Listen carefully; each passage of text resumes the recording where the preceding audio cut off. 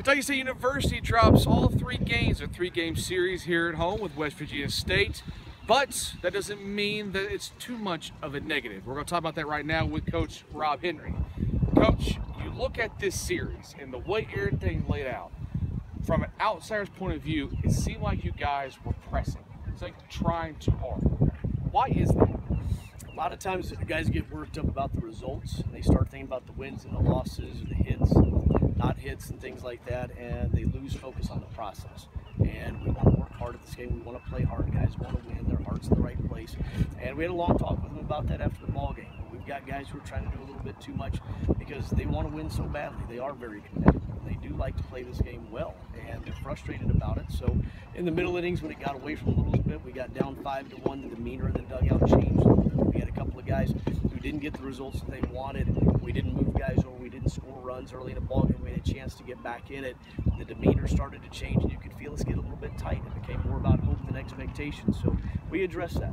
So that's that's one of the things we've got to make a focus on this week in practice. You look at that and you take in that concept of things. You play these high caliber opponents. Do you think that if you get into conference play, you pick up a win or two, pick up a winning streak, that this team will start to really turn a corner?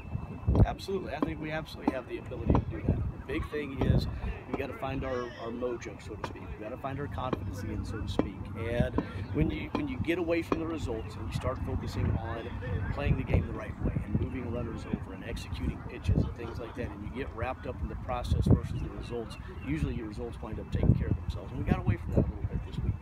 Now, after this three game series, you have a week off, roughly six days. You are back here at home, you're not on the road, you're not traveling, you're here working on things. Does that help or does that hurt a team that's pressing right now? I think at this point it's good because it gives us a little bit of a pause away from worrying about those results because there's statistics, there's wins, there's losses, there's people watching us, and and guys start to think about that a little bit more than they do the process. I think the good thing about this this pause in the schedule, so to speak, is the ability to get back and work at our games and work at developing and doing some things that uh, that will help make us more successful again and kind of get our confidence back a little bit here. We're, we're a little bit shaken as a ball club, so we've got some work to do up there uh, as far as where we are mentally right now and to get some guys back.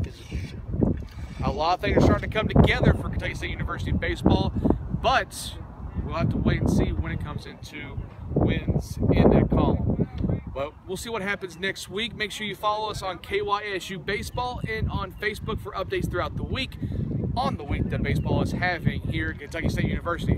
For Coach Rob Henry, I'm Eric Matthews. This is the Thorobred Sports Network.